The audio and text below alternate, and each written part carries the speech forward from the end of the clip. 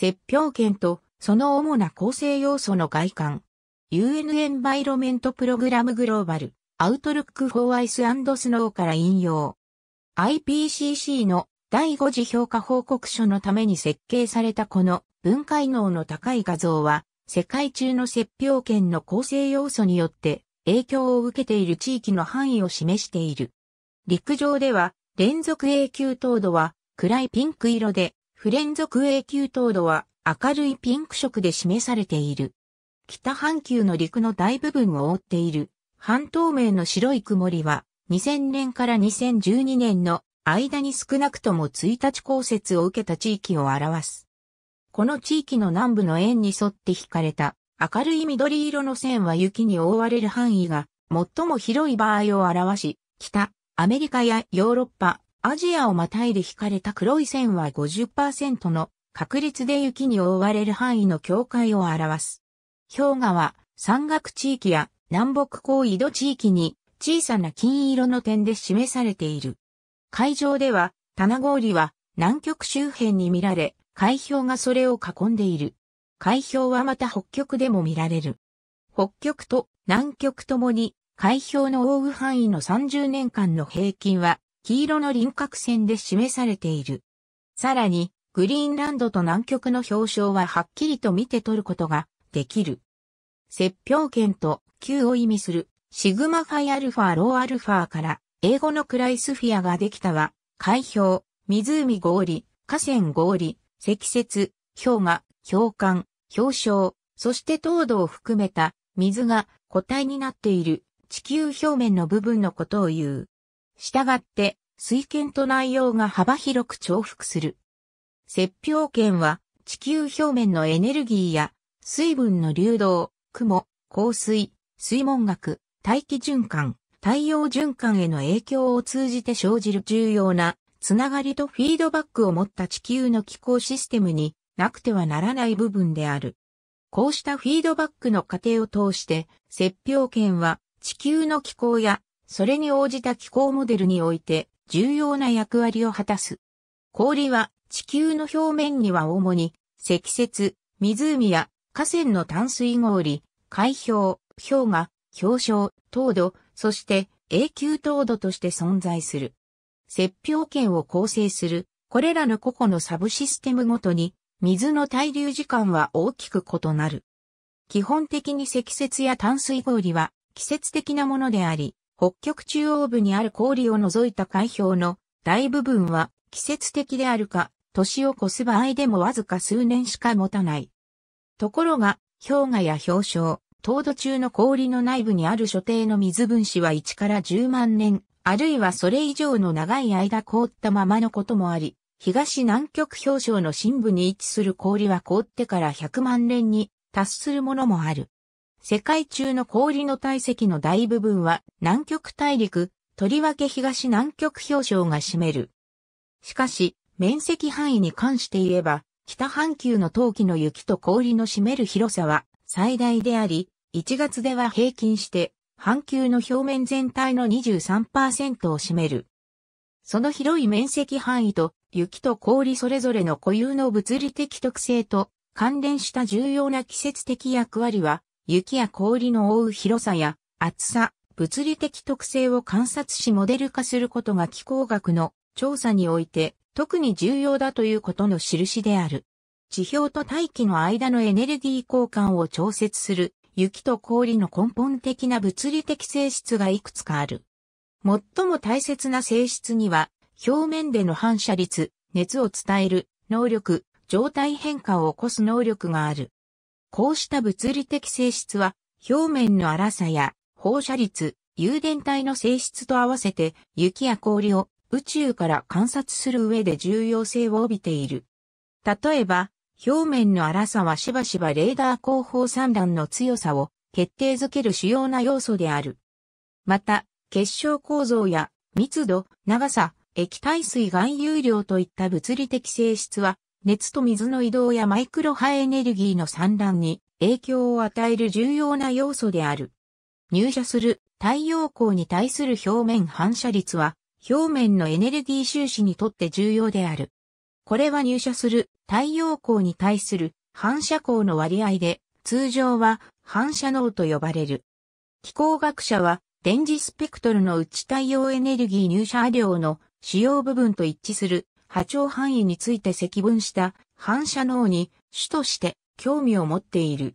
一般に誘拐していない雪に覆われた表面の反射能の値は森の場合を除くと高い。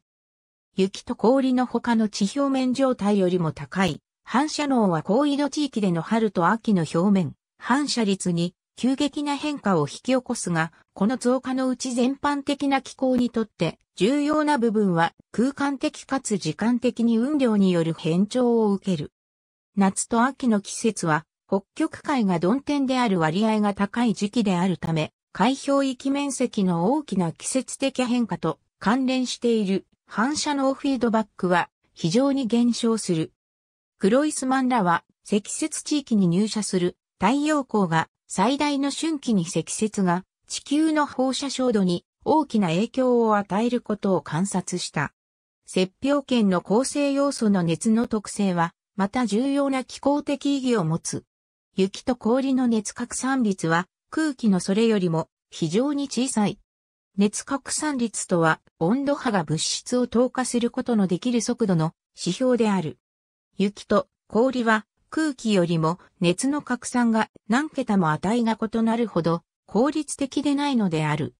よって、積雪は地表を、海氷はその下にある海洋を覆って、熱や水分の流動に関する表面と大気の境界面を分断する。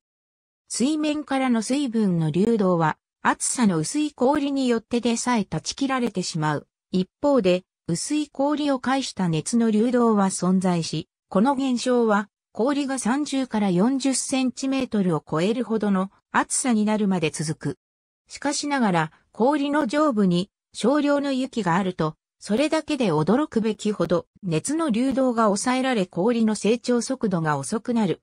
この雪の遮断効果はまた水循環と重要なつながりがある。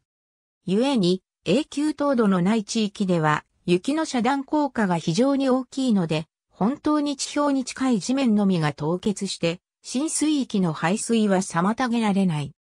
雪と氷は冬に大量のエネルギー損失から地表を遮るように作用するが、氷が溶けるのに必要なエネルギー量が大きいため、春や夏には地表が温まるのを遅くする作用がある。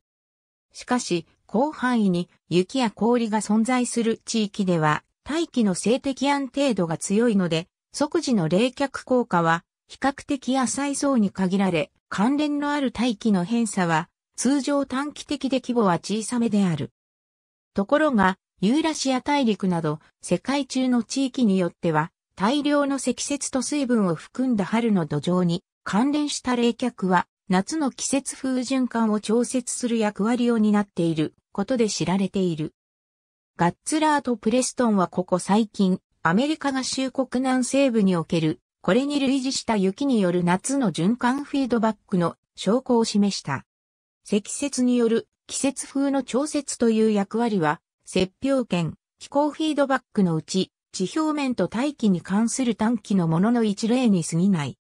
随一から地球の気候システムには数多くの雪氷圏、気候フィードバックが存在することがわかるだろう。これらは局所的季節的な気温の低下から半球規模で何千年もの期間にわたって起こる氷床の変動まで空間的にも時間的にも幅広く採用する。これに関連するフィードバック機構はしばしば複雑で完全に分かりきっていないことがある。例えばいわゆる単純な海氷の反射ノーフィードバックは、氷の拡大により生じた水路の断片や、融解により生じた池、氷の厚さ、積雪、海氷域面積が複雑に絡み合っていることが、カリーラによって示された。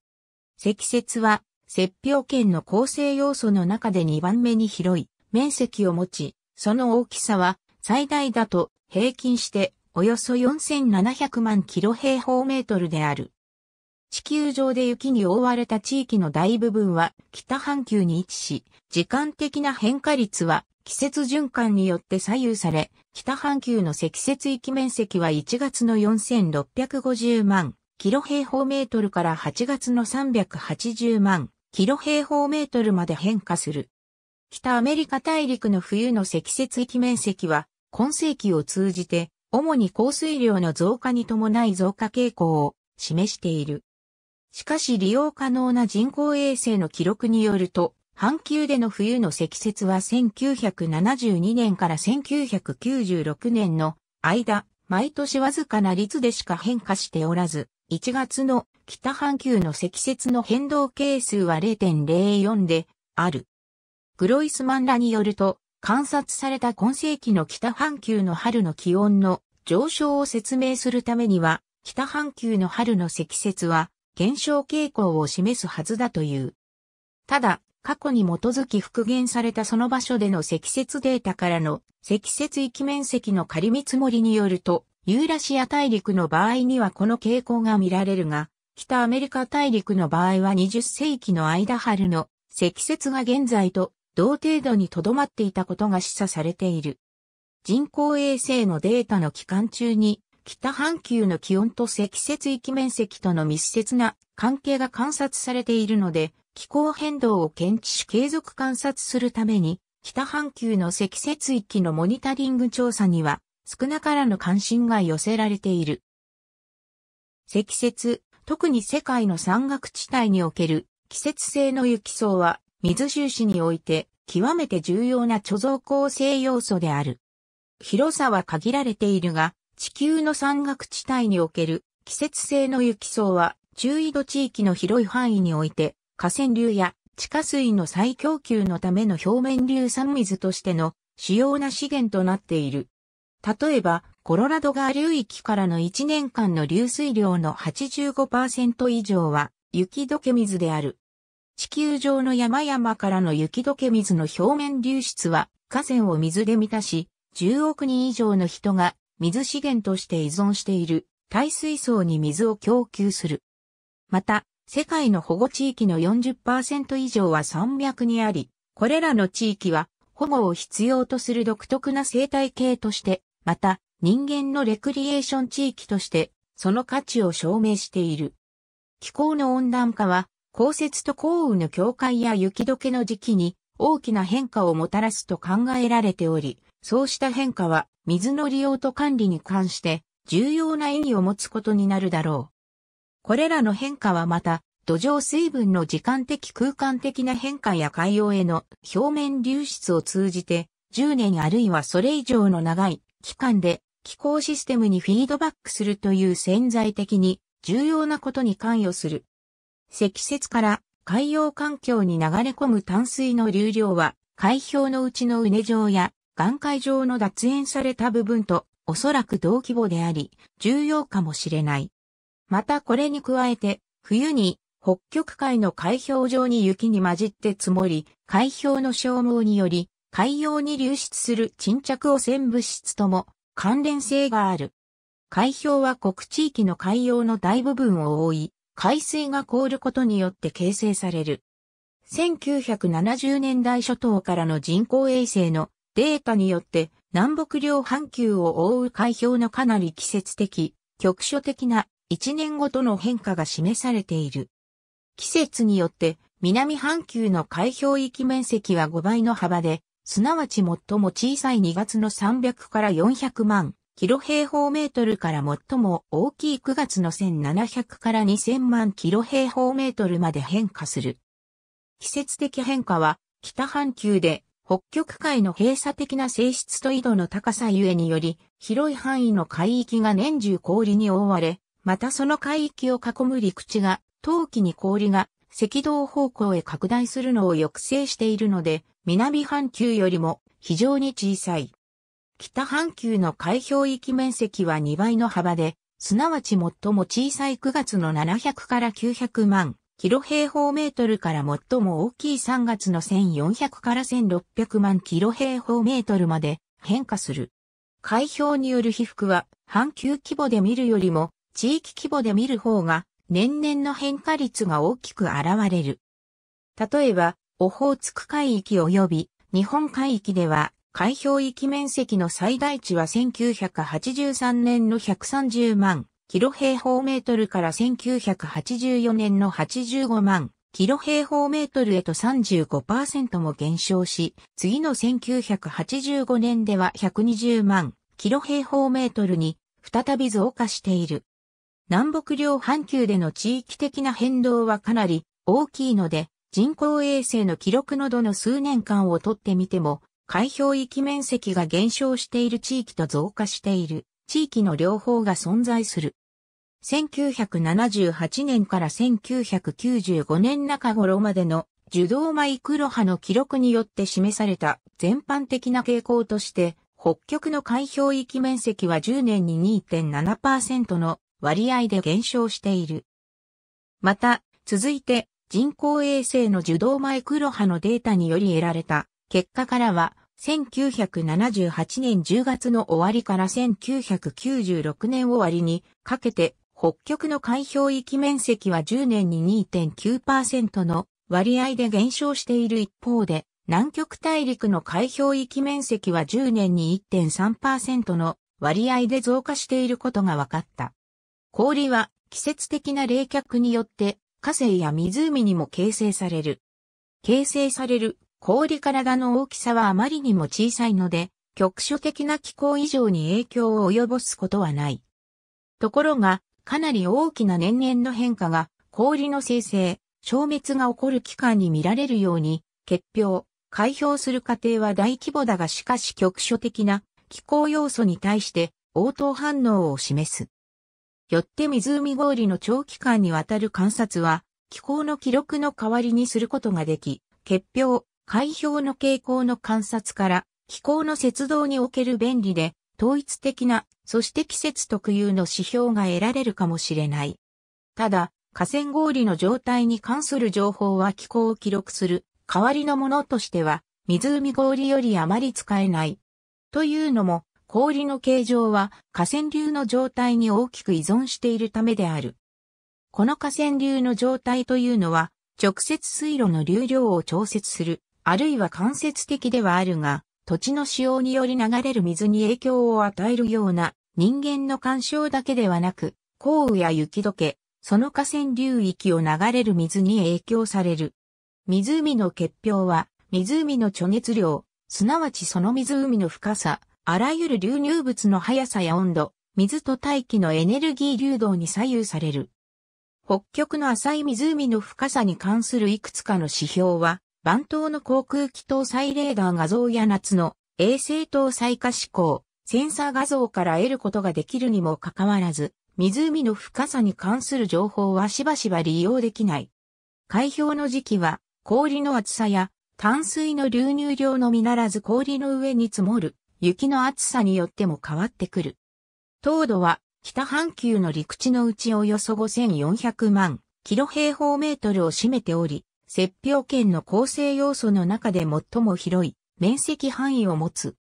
永久凍土は年平均気温がマイナス1か引く、摂氏2度よりも低くなると生じやすく、引く摂氏7度よりも低くなると連続永久凍土が生じる。また、永久凍土の広さと厚さは地面の含水量やその土壌の植生、冬の積雪の深さ、植生の秀感に影響される。世界全体の永久凍土の面積範囲はまだ完全に分かっていないが、北半球の陸地のおよそ20%だろうとされている。永久凍土の厚さは、シベリアやアラスカの北東部の北極沿岸部では600メートルを超えるが、限界領域に近づくに従って薄くなり、水平方向に不連続になってゆく。その限界領域は温暖化傾向により引き起こされる氷の融解からいち早く影響を受けることになる。現在存在している永久凍土の大部分は以前の今よりも寒い気候条件の下で形成されたもので言い換えればそれは過去の遺跡のようなものに過ぎない。ところが氷河が後退しあるいは凍結していない地面を持った陸地が新たに現れる現在の極気候の下でも永久凍土ができるかもしれない。ワッシュバーンが出した結論によると、大部分の連続永久凍土は上表面で現在の気候とのバランスがきちんと保たれており、下表面の変化は現在の気候と地熱流に依存している一方で、大部分の不連続永久凍土はおそらく不安定、すなわちわずかな気候の変化や表面の変化が劇的な不釣り合いの状態を生み出し得るような脆い釣り合い状態にあるということだ。温暖化の下でますます深くなっている夏の活動層は水文学的地形学的な流束に重大な影響を与える。永久凍土の誘拐や交代は、マッキンジー川上流やマニトバ州の南限海領域に沿う地域で報告されているが、そのような観察結果はきちんと計測され、一般化されているわけではない。緯度における気温の平均勾配に基づくと、摂氏1度の気温上昇に対する平行条件の下では、永久凍土の南の境界が北に50から 150km だけずれることが予想されている。永久凍土の存在する範囲のほんの一部分だけが実際に土や岩石に氷を含んでおり、それ以外は氷点下の気温では単なる土か岩石である。一般的に氷の溶石は永久凍土の最上部で最も大きく、そこでは氷は空撃中にあったり岩石から分離された氷として存在したりする。永久凍土のボーリング高の温度の測定は気温の状態に関する正味の変化の指標として使うことができる。ゴールドとラッヘンブルックはここ75から100年の間にトンプソン岬やアラスカでに摂氏温度の温度上昇を推定する。これらの地域では400メートルの厚さを持つ永久凍土の上部25%が深さに対する気温の平行分布に関して不安定となっている。しかし海洋性気候の影響がこの推測に偏りを持たせていたかもしれない。プルドーベイではルジのデータによりここ100年間で摂氏1.8度の温度上昇が暗示されている。積雪の深さや自然に起こるあるいは人工的に発生する地表の植生の上乱の変化によってさらに複雑な要素が導入されるであろう。永久凍土が誘拐する速度の予測はオステルカンプによって確証されており、それによると3.4年でマイナス0.4摂氏0度、その後、さらに摂氏2.6度の気温上昇を見込んだ場合、アラスカ内部の厚さ25メートルの不連続永久凍土が誘拐するのに2世紀あるいは、それ以下しかかからないということだ。気温の変化に対する永久凍土の応答反応は、一般的には非常にゆっくりとした過程であるが、活動層の厚さは気温の変化に対して素早く反応するという事実について十分な証拠が存在している。温暖化の場合であろうと寒冷化の場合であろうと、地球の気候の変化は季節的に凍結する地域と年中凍結している地域のどちらにおいても無双期間中に多大な影響を及ぼすのだろう。氷河と氷晶は密で硬い陸地に持たれた形で存在する流れる氷の塊である。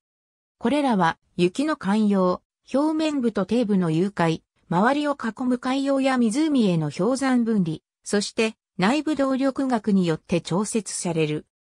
氷河は氷体内部で重力によって引き起こされるクリープ流と氷河の下にある陸地への活動によって生じ、その活動は氷河を薄くし、水平方向に広げることにつながる。質量の増加、減少と流動による移動との間に関する、この力学的不均衡は何であれ、氷体の成長あるいは萎縮を生む。